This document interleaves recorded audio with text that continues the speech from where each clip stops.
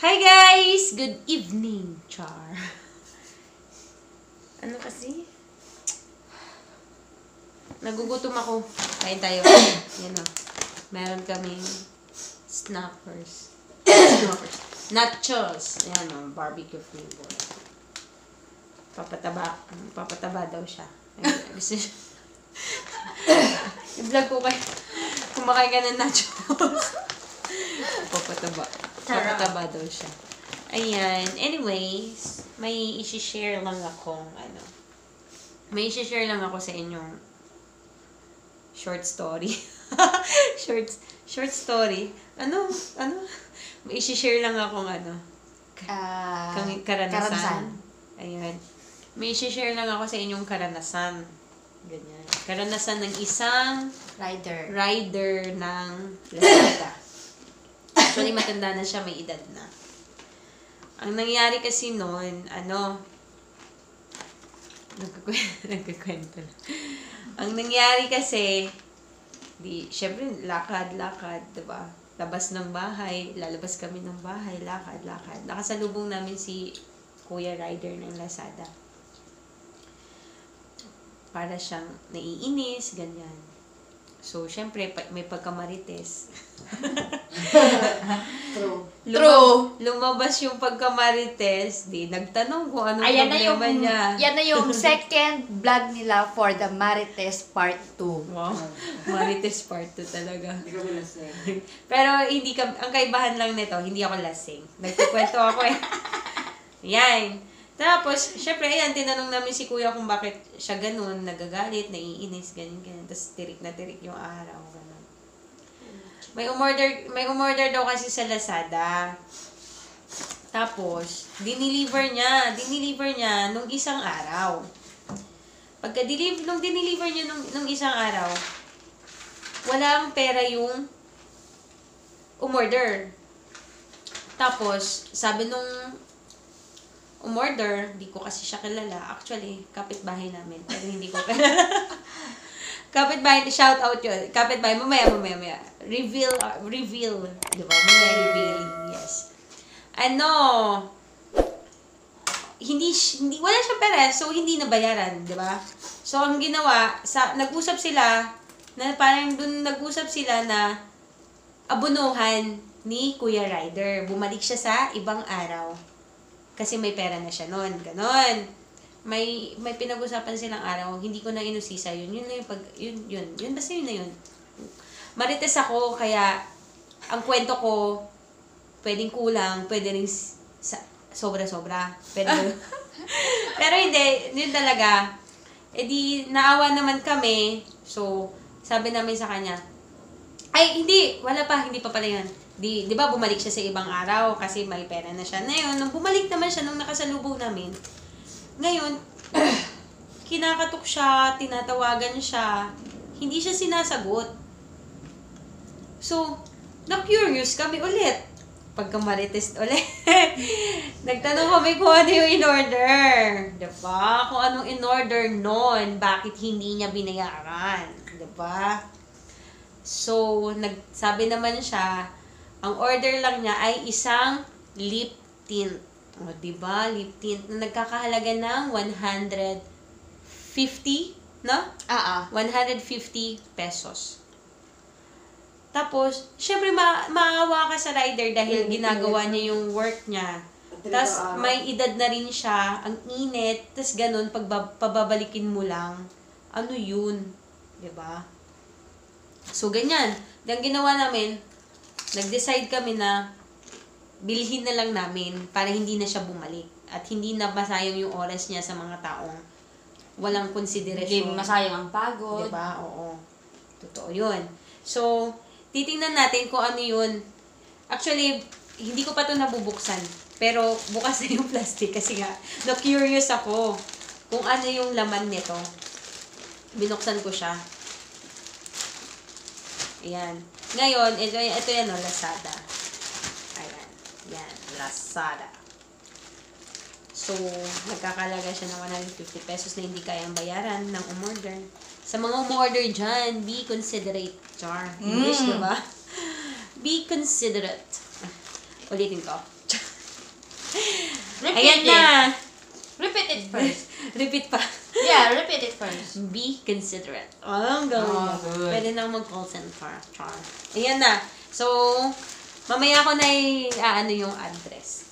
Kasi, dyan lang yun sa kabilang bahay. Kalikod bahay lang. ah. Kalikod bahay lang namin actually. So, pero hindi ko kilala. Wala po akong kilala. Bukod tangi sa mga kasama ko lang po sa bahay, sila lang po ang kilala ko. so, ito na. Ayan na, di ba, Lazada. Ito yon Siguro ito yung mga ano, lip tint na sumisikat sa Shopee. Sa Shopee, sa Lazada. Ay, hindi, sumisikat sa Shopee tuloy. Ito yung lip tint na sumisikat sa TikTok. Mga ano to eh, sariling gawa. 'Di ba? Ganyan. Ang On branded. Oo. So, hindi ko alam kung anong brand nito. Kasi ang alam ko lang brand, Everbelena. Char! Dati, dati yun. Wala na akong work doon kasi namimiss ko na nga yun. Yan. Isa, ito, ito, to, to, to, to. Ayan. Dior. Dior. Ayan siya, oh. Kita niyo. Ulata. Ayan, oh. Ulata. Ulata. Ulata.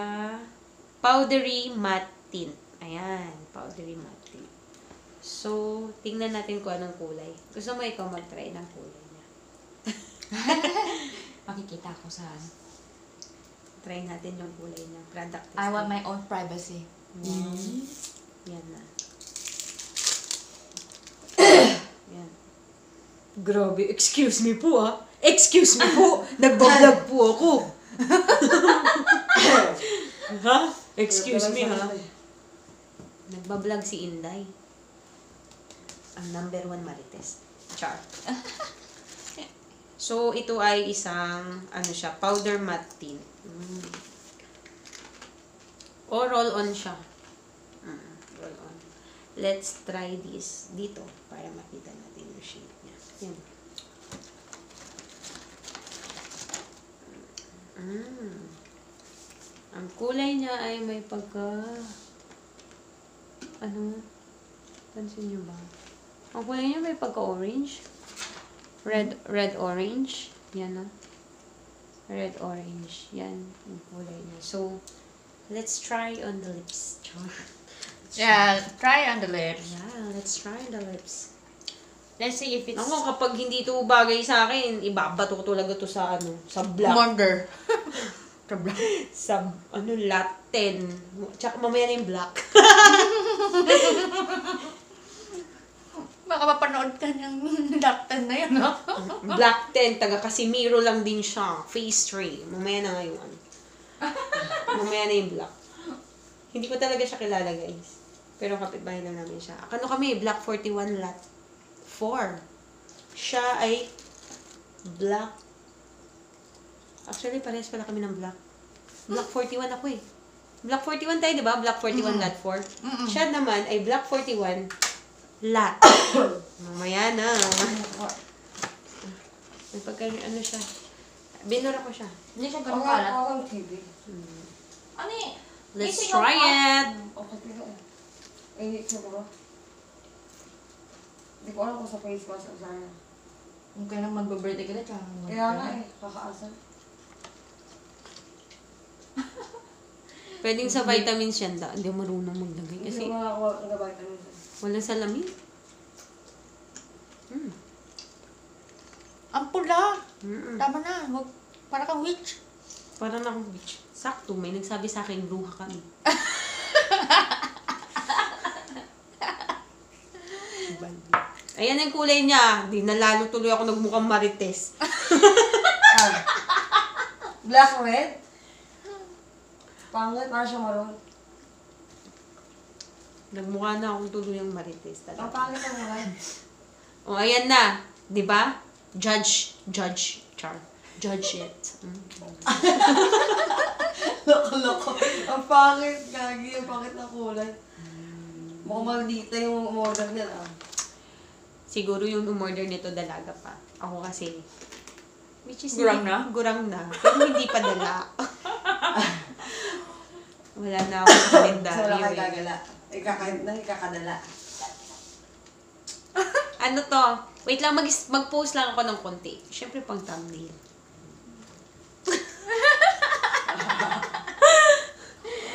Ayan siya. Dior. Ah, Olata. Yung kulong kulay. Maroon, black red. Try natin kapalan ng konti. Tanggalin na lang natin. Pangit nga eh. Kataas naman. Ay, itim na nga dyan eh. Actually, sa taas lang ang nilagyan ko kanina. Sadyang maka, ano lang talaga siya.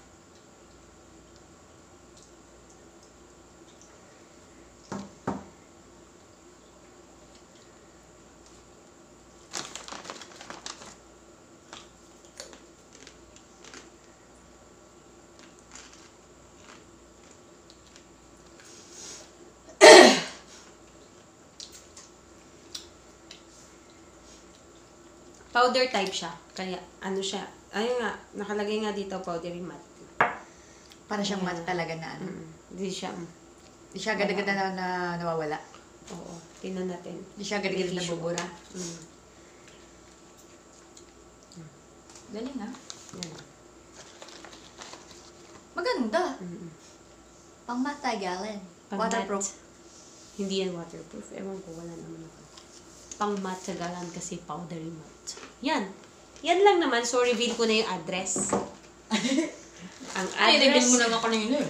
Hindi. Syempre, wala Ang pa yung, pangalan. yung... Actually, wala kasi pangalan na nakalagay dito eh. Na ba? Address lang talaga. So, Ay, hindi! Meron! Aiko Mondragon? Pangalan? Customer! Ayan o, Aiko Mondragon. Sino ba yung Aiko Mondragon dyan? Diyos mo mamaya magbuga ng apoy yun. yung brand, oh?